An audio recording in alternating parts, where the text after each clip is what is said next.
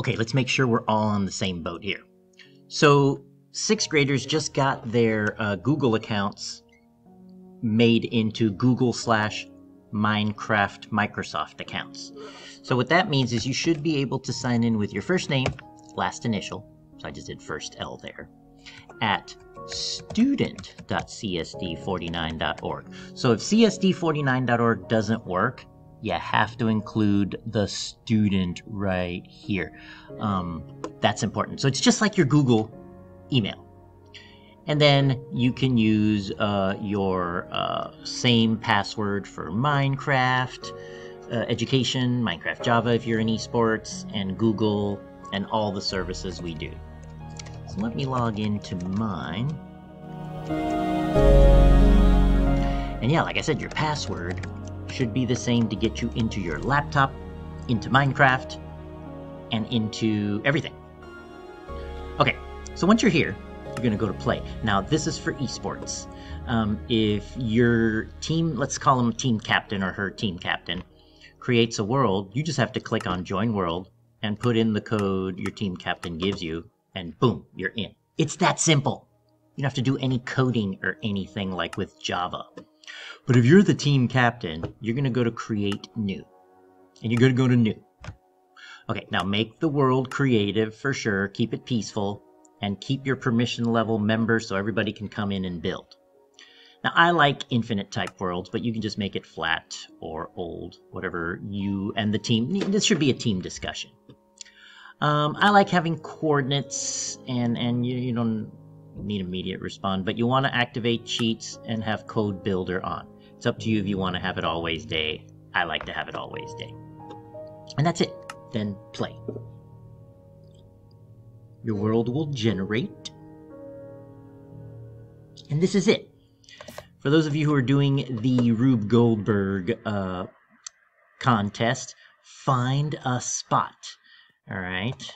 In the spot, uh, you can have people. So you've got the position there in coordinates. You can tell them where to go. But then push the escape uh, key and see here, go to where there's people and click on start hosting and then confirm. Look at that. There's the code. All you have to do is call them up on the phone or message them or text them and say, uh, go to join Alex, Potion, Water Bucket, Steve. That's it you're hosting the world and they can come in and play. So you have to host it, they have to join, and you want all four of you to be building in this world. So you really have to coordinate times when the four of you can meet together, or if only one of you can meet, the team captain has to uh, start, launch the world, and then click on host again. So I can stop hosting and then I have to start hosting. So the team captain is really important. It's got to be someone who has kind of a flexible schedule and keeps up with their assignments because you don't want to be able to play and have your team captain in trouble for not keeping up with their work and then you can't build. Because, you know, you seemed like you got a long time till March, but March is going to come fast.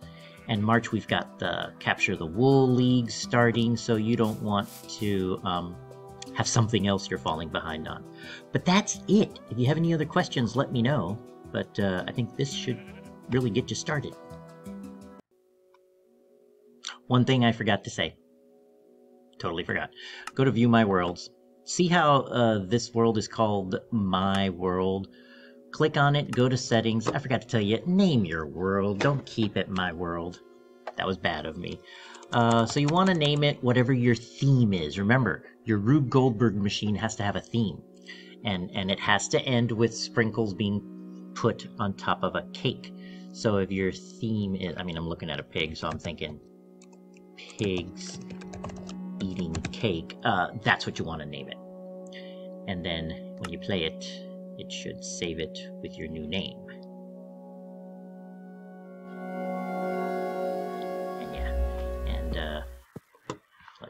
And see. Save and exit, save and exit. View world. Ha! Pig's eating cake. There it is. Alright, you're good to go.